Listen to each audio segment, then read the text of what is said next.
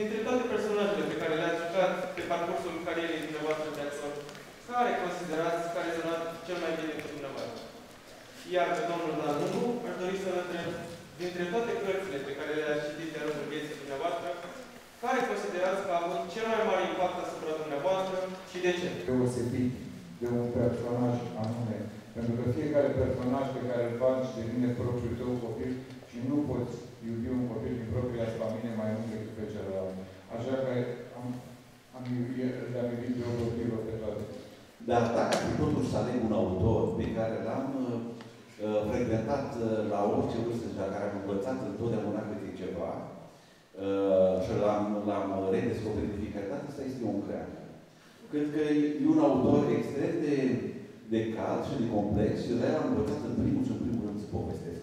Ori pentru, pentru un scriitor asta este Eveniment important organizat cu ocazia Zilei Naționale a Lecturii la Colegiul Național Costache Negroții din Iași. Două personalități marcante, actorul Horațiu Mălăele și scriitorul Dan Lungu, au venit aici să stea de vorbă cu elevii. Uh, este un uh, eveniment important pentru noi, este o premieră. Uh, suntem din nou gazdă pentru personalități importante din spațiul cultural, din spațiul literar.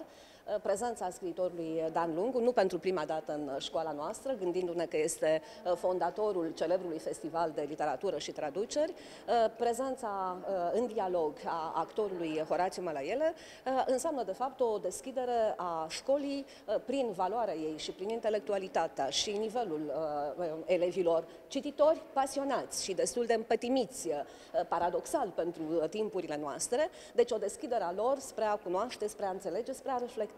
Eu cred că ziua de astăzi are mai mult o valoare simbolică și cred că ar trebui zi de zi să existe este momentul de lectură, de uh, întoarcere spre carte, fie că este vorba de uh, cartea de literatură, cartea de poezie, cartea eseul filozofic, cartea științifică, uh, dar uh, momentul de astăzi este mai mult uh, o recuperare culturală și o formă de a rezista în fața uh, unei uh, civilizații care înseamnă imagine, uh, tehnologie, uh, seducția internetului, uh, experiențe culturale facile, uh, informații extrem de uh, restrânse și cumva o relativizare valorică. Cu ocazia acestei zile, scriitorul Dan Lungu și-a adus aminte de perioada în care era licean la Botoșani. Eu acum nu mă pot plânge, deși am terminat liceul în 88, am avut o libertate cum cum, cum zic, când vorbim despre epocă, ne imaginăm uh, numai lucruri rele și în profunzimea lor, într-adevăr, nu sunt prea vesele.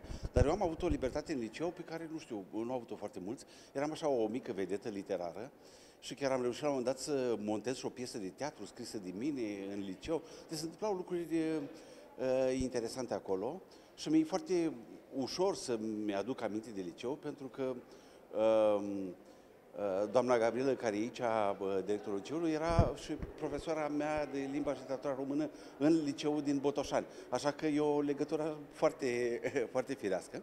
Și mă bucur foarte mult să vin să mă întâlnesc cu, cu elevii după perioada asta de pandemie, când am stat cu toții ascunși și izolați. Reacțiile publicului tânăr au fost pe măsura evenimentului. Negruțiștii au fost încântați și amuzați de prezentările celor doi invitați. Hohote de râs s-au răsunat în sală atunci când Horațiu Mălăele a citit câteva perle adunate din lucrările de la bacalaureatul 2021. Și a început să o lucreze.